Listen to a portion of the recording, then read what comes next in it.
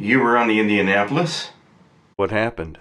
Japanese submarine slammed two torpedoes into our side, Chief. It was coming back from the island of Tinian to Leyte. Just delivered the bomb. The Hiroshima bomb. 1,100 men went under the water. Vessel went down in 12 minutes. Didn't see this first shark for about half an hour.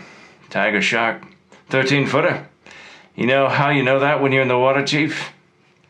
Tell by looking from the dorsal to the tail. We didn't know. Was our bomb mission had been so secret? No distress signal had been sent. they didn't even list us overdue for a week. Very first light, Chief, the sharks that come cruising. So we formed ourselves into tight groups, you know, it's kind of like old squares in a battle, like you see in the calendar, like the Battle of Waterloo. And the idea was the shark comes to the nearest man, and that man, he start pounding and hollering and screaming, and sometimes the shark would go away. Sometimes he wouldn't go away. Sometimes that shark, he looks you right into your right into your eyes. You know the thing about a shark. He's got lifeless eyes, black eyes like a doll's eyes. When he comes at you, he doesn't seem to be living until he bites you, and those black eyes roll over white. And then, ah, uh, then you hear that terrible high-pitched screaming. And the ocean turns red in spite of all the pounding and hollering, and they all come in and rip you to pieces.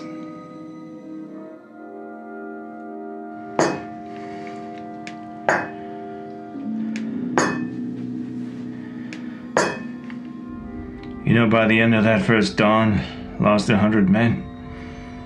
Don't know how many sharks, maybe a thousand. Don't know how many men. They average six an hour.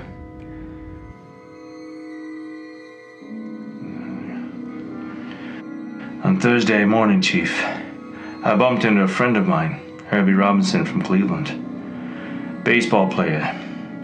Bosun's mate. I thought he was asleep. Reached over to wake him. He bobbed up, down, like kind of top, upended. He'd been bitten in half below the waist. So noon the fifth day, Mr. Hooper, Lockheed Ventura saw us. He swung in low when he saw us. He's a young pilot, a lot younger than Mr. Hooper here. Anyway, he saw us and he come in low.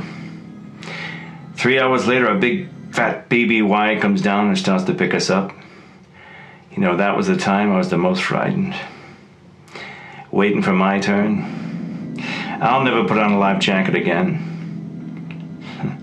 so 1,100 men went in the water. 316 men come out. The sharks took the rest. June 29th, 1945. Anyway, we delivered the bomb.